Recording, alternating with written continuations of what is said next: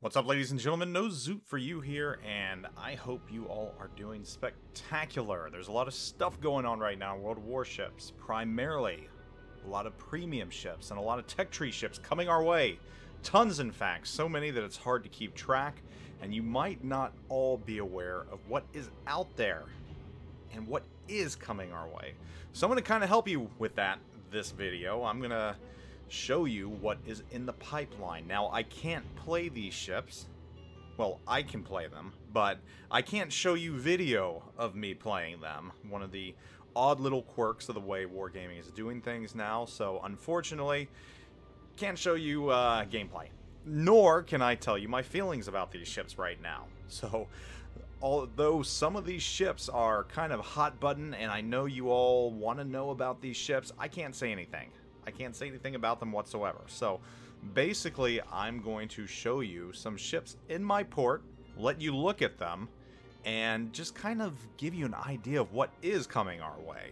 Think of this as like a ship porn episode or something like that. It's it's just going to be some awesome ships. Well, hopefully they're going to be awesome ships coming our way and knowledge. So First, I guess we can start with the German CV line, and most of you know that these are on the way. And while I'm showing you these, I'll probably put the stats up on the right-hand side so that you can see some of the stats at least preliminarily. I, am allowed to do that. So first, on the German CV side of things, starting at Tier 4, we have the Rhein. And we all know how much we love Tier 4 CVs, right? well, not really if your destroyer is something else, because usually at this tier you wind up with two or three aircraft carriers on one team, and that really, really sucks. And it, funny thing, uh, we were talking about this, or at least I, I saw a forum post about this, and someone was lamenting the fact that after quite a while of not playing the game, they came back and tried playing the Kamikaze R, and they found that it is not the ship that it used to be. And I think aircraft carriers have a lot to do with that. Anyhow, moving on to Tier 6, we've got the Weser. And we also have the Erich Loewenhardt. So, got two Tier 6 German carriers right there. moving up to Tier 8, we've got the August von Parseval. That's your Tier 8 German aircraft carrier. And then finally at Tier 10, we've got the Manfred von Richthofen. And most of you probably know who he is, being that he was the famed Red Baron from World War One. Manfred von Richthofen. Finally shot down by a Canadian. Actually, that is under dispute. They said it might have been a Canadian that shot him down, but they also said it might have been a lucky shot from the ground that managed to kill him. So, don't know for sure, but yes, your Tier 10 German aircraft carrier is the Manfred von Richthofen. Now, that's not the only Tier 10 aircraft carrier we've got coming our way. We've also got an American premium aircraft carrier, the Roosevelt, the FDR. Not the Teddy Roosevelt, but the FDR. And this one came out at the very end of the war. Didn't make it. Didn't quite make it to World War II. Came out just after, kind of like the Saipan. So that's going to be another Tier 10. Most of you know about this one. Kind of got some publicity about the same time that the California got some publicity but this one is here. Here it is. Here's how it looks. It's a beautiful CV. It really is. But outside of that, can't tell you much about it. Sorry. Tier 8, we've got the Impero. It's a battleship. How nice.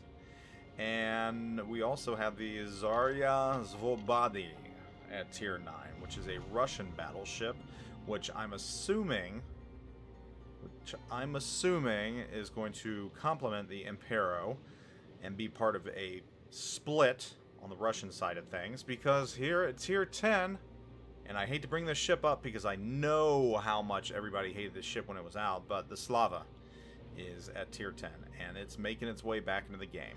And we can test it but I can't tell you anything about it. So whether or not it's the same powerful ship as it was before I don't know. You're just gonna have to find out or see if you can find one in-game being tested now, whoever's testing it can't tell you anything about it, but you can watch the ship play, and you can make your determinations from that. Lastly, one last ship I gotta tell you about right now, and that's the Tier 9 Ludendorff, which is a German battleship. So, Tier 9 German battleship Ludendorff. And not much word on this one right now, whether it's going to be premium. Well, I'm assuming it's going to be premium, but whether or not it's going to be free XP or coal or what have you, but that's out there as well. So, lots of ships coming our way. We've got the German CV line coming, which you may or may not be excited about. We've got the Russian battleship tech tree split, which is coming. You may or may not be excited about that as well. We've got the Roosevelt. We've got a Tier 10 aircraft carrier for the U.S. And we've got just a couple one-offs, like a German battleship at Tier 9. So, the, Wargaming is really going full speed on the ship production here. I mean, you can't say that they're slouching right now. There are a lot of ships coming our way in the near future, whether they're tech tree or premium. And, you know, that's a good thing. That's always a good thing when Wargaming puts out more ships, more ships in variety. And you know we got we got to have ships to counter the HE spam with, right? So battleships are great for that, and I, I would imagine carriers are as well. Although those represent their own problems. I don't know. Anyhow, guys, this is what we've got out there. This is what's coming our way in the near future. Keep these ships in mind just because if you're interested in one, you don't want to use up your valuable resources when you could be saving it for these ships or your XP because, hey, you don't want to grind the the Russian battleship split. You just want to go straight to Slava. Keep it in mind. Hold on to your XP if you need to. And just be ready. Don't know when these ships are going to be released, when they're coming out.